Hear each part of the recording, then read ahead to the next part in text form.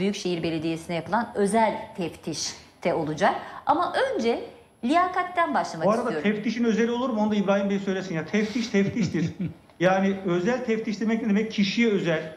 Böyle garip yani onu da anlamadım yani özel teftiş. O kavramı da konuşmakta fayda var. Kişiye özel olduğunu sonradan iktidar ağızları reddetti. Numan Evet. Kurtulmuş gibi. Hatta Süleyman Soylu dahi İçişleri Bakanı.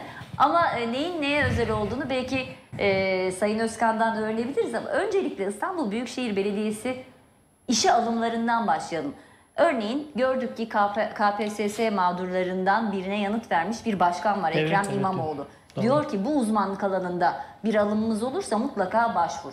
Nelere dikkat etti İstanbul Büyükşehir Belediyesi ve üstelik bu kadar baskının içerisinde Sayın Özkan? Evet, çok teşekkür ediyorum. Tabii önce liyakat önemli. Ülkemizde şu an olan durum ne? Mutlak itaat. Mutlak liyakat yerine mutlak itaatin esas alındığı ülkelerde maalesef şu an içinde bulunduğumuz durumu yaşamamız olağandır. Şimdi İstanbul Büyükşehir Belediyesi Sayın İmamoğlu'nun göreve başlamasıyla yeni bir insan kaynakları yönetimine geçti. 30 iştirak şirket veyahut da e, memur ihtiyacı olan Büyükşehir Belediyesi personel taleplerini insan kaynakları yönetimine bildiriyor ve tamamen şeffaf bir seçme sistemi var. Yine e, memur alımları tamamen şeffaf bir şekilde KPSS puanlama sıralamalarına göre yapıldıktan sonra insanlar performans e, testlerine girdiler. İtfaiyede, zabıtada. E, Uygulama hiçbir- testine uygulama tabi tutuldular, girdiler. evet. Çok zor testlerden testlerden geçtiler ve işbaşı yaptı insanlar. Diğer taraftan iştiraklere gelelim. İştiraklerde de İBB kariyer sayfası üzerinden başvurular alındı. Şimdi İstanbul Büyükşehir Belediyesi'ne öyle bir güven oluştu ki şu anki başvurular 1 milyon 400 bini geçti. Korkunç bir sayı. Evet. Bu tabii işsizliğin de göstergesi. İşsizliği de gösteriyor. Kesinlikle haklısınız. Nasıl e, tabii iştirakler talepte bulunuyor. Örneğin bir meslek grubu örnek verelim. Bilgisayar mühendisi lazım. İstanbul Büyükşehir Belediyesi'nin e, İstelkom AŞ isimli şirketine. Bu ilana başvuruda bulunuyor insanlar. O başvuruda CV'sine göre ön bir değerlendirme yapılıyor. O değerlemeden sonra insanlar e, bir sohbete davet ediliyor. Pandemi sürecinde e, yüzde değil de daha çok e, dijital Ortamda e, ortamda yapılan değerlemeler. Daha sonra karar verilen personel e, davet ediliyor. Davet ediliyor. İşe giriş için gerekli olan evraklar işte isteniyor.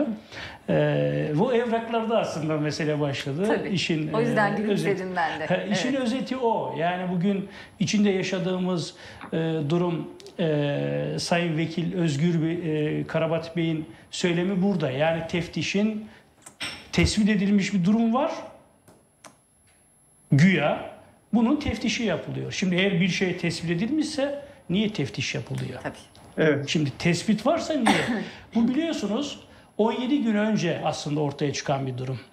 Büyükşehir, e, Büyükşehir Belediyesi'nde işte terör, irtibat ve iltisaklı insanların işe alındığı ile ilgili bir sayı verdi Sayın İçişleri Bakanı ve 17 gün sonra özel teftiş olarak başlandı. Eğer böyle bir tespitiniz varsa bir tweet attı diye sosyal medyadan sabahın 5'inde kapısına polisle dayanıp gözaltına, gözaltına aldığınız insanlar gibi yapabilirsiniz. Tabii. Şimdi 86 bin kişi zan altında. Yeni işe giren 21 bin küsür kişi zan altında. Kim bu insanlar? Bu kadar ucuz mu bu işler? Bir de hani bir Bu kadar- sicil kaydı isteniyor insanlardan işe girerken. Eminim Şimdi- belediyede de isteniyordur yani bir adli. O evraklar Kayıt dediğimiz nedir? Ee, özel sektörde de yaşanan durum bu. Önce bir meslek e, bonservisini isterler. E, eğitim durum belgenizi isterler. Bir de sabıka kaydınızı isterler. Evet. Şimdi sabıka kaydını veren yer Adalet Bakanlığı'nın sicil sistemi. Adalet Bakanlığı'nın adli sicil kayıtları bir hüküm giymişse vatandaş onu gösteriyor. İşte ceza almış, ertelenmiş vesaire gibi durumları gösteriyor. E şimdi İstanbul Büyükşehir Belediyesi'nin ne istihbarat teşkilatı var, ne silahlı kolluk kuvveti var. Böyle bir yok. Şimdi noterlerde olan sistem o zaman Büyükşehir Belediyesi'ne entegre edin. Tabii. Noterlerde bile e, aranan e, anlık durumlar olabiliyor. Mahkemeye gitmemiş, zorla getirme çıkmış, arama kararı çıkmış, gözaltı kararı çıkmış, tutuklama kararı çıkmış olan insanları anlık olarak GBT sisteminde görüyorsunuz. İstanbul Büyükşehir Belediyesi'nin bunu görme imkanı yok. Şimdi Adalet Bakanlığı'nın vermiş olduğu adli sicil kaydına güvenmeyecek de ne yapacak İstanbul Büyükşehir Belediyesi? Ondan sonra efendim yok sizde 557 tane. E şimdi bu ülkede en son 160 kişiydi bu teröristler. Demek ki bu 160 teröristin 557'si Büyükşehir Belediyesi'nde çalışıyor. Tabii. Yani bir ters matematik işletelim. Ya kabul edilebilir şeyleri değil. Devlet ricali, devlet adabıyla hareket etmek zorundadır. Siz o gün e, o özel teftişi duyduğunuzda madem buraya girdik sonra Evet. Sayın Karabata ve değerli konuklarımıza da tabii ki aynı soruları yönlendireceğim. Ne hissettiniz? Yani e, nasıl oluyor bu iş diye düşündünüz mü? Bu tamamen gündem değiştirmek aslında. Ben çok hakimim konulara. İnsan kaynakları yönetimi personeli nasıl seçiyor çok iyi biliyoruz. Ne kadar şeffaf e, bir seçme sistemi olduğunu bildiğim için ben çok rahatım. Bu işlerin altına hiçbir şey çıkmaz. Boş işler bunlar. Yani sürekli aynı yanlışı yaparak doğruyu bulma ihtimali var mıdır? Yok. Meclise girdiğimiz ilk gün başladı bu engellemeler. Evet. Sürekli itibarsızlaştırmak. Herkes işine gücüne baksın. Yani öyle bir hale geldi ki devletin Cumhurbaşkanı, devleti idare eden hükümet yani Sayın İmamoğlu'nun işi çok zor yani. Bir Cumhurbaşkanı, iki eski başbakan, 17 tane bakanlık, 70 tane televizyon, 70 tane gazete, 200 bin tane troll hepsiyle uğraşmak zorunda. Ya o kadar zor bir durum ki İstanbul Büyükşehir Belediyesi tabii her şey çok güzel olacakla başlıyor aslında mesele. Ee, o kadar enteresan bir durum var ki 23 Haziran'la 31 Mart arasındaki e, dönemde bile bunları yaşadık. Engellemeler, mecliste yaşananlar. Tabii. Meclisin ilk günü başladı biliyor musunuz engellemeler? İlk gün. Sayın İmamoğlu İstiklal Marşı ve saygı duruşuyla başlandı meclise. 23 Haziran sonrası. İlk gün teklif gündemi başkan belirler ama meclis üyeleri teklif getirebilir. AK Parti grubu bir teklif getirdi. Ne dediler biliyor musunuz Evren Hanım? Dediler ki 23 tane ihtisas komisyonu var. Ve bu ihtisas komisyonları 9 kişiden oluşuyor.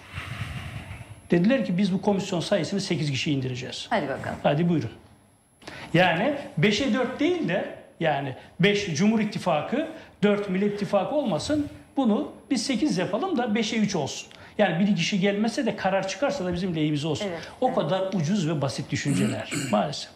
Konuşacağız daha bu konuyla ilgili. Tabii hani e, İstanbul Büyükşehir Belediyesi'ne belki Erdoğan'ın da dediği gibi İstanbul'u kazanan. Türkiye'yi kazanır sözü üzerinden daha bir önem gösteriyor iktidar ama o yerel seçimlerin ardından muhalif e, belediyeleri e, belediyeleri muhalefet alınca zaten yetkilerini nasıl aldığını iktidarın belediyelerin belediye başkanlarının biliyoruz.